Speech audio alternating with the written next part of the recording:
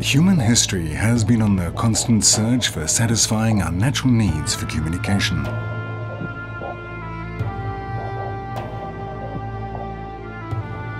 And it has evolved so quickly that it is hard to imagine which new forms of communication our telecommunication engineers will surprise us with in the future.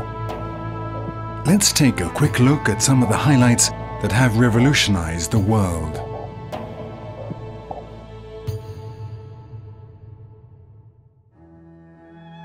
Completely groundbreaking, the telegraph allowed immediate long-distance communications with the point and line system developed by Samuel Morse. It was the night of the 14th of April 1912 when the most famous SOS call in history was made, the one coming from the transatlantic Titanic. Thanks to that telegraph, 712 lives were saved. SOS then became the official call sign for help.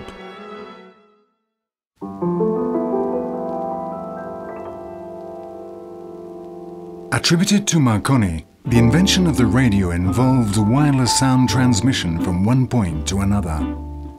Its persuasive capabilities were demonstrated on October 30, 1938, when Orson Welles caused panic among millions of people by making them believe that the United States was being invaded by an army of aliens. I'm a small hill above the pond at 60th Street. From there I could see standing in a silent row along the mall.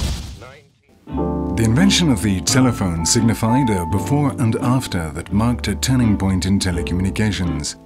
Today, it is unthinkable to live without it. Did you know that the first unit was opened in 1878 and had only 21 subscribers? If there has been an undisputed queen in mass communication, this would be, without a doubt, television.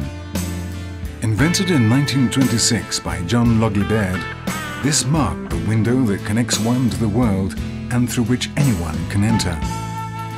So did Neil Armstrong in 1969 when that historic first step for man was broadcasted live before more than 500 million viewers.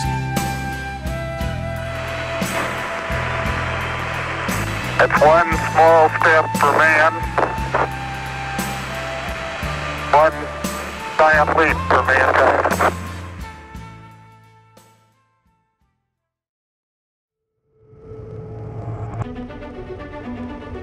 Today, telecommunications have transformed our lives. The internet has created a new era for connectivity. We can communicate with anyone or anything from anywhere in the world. We can connect with thousands of people at the same time. We can travel without moving from our house. But who knows what will our telecom engineers surprise us with tomorrow? From the ECOIT, we encourage you to take part in this wonderful adventure, being the protagonist of the telecommunications development. Lead in the future. Official Engineers Telecommunication College. 50 years giving engineers a voice.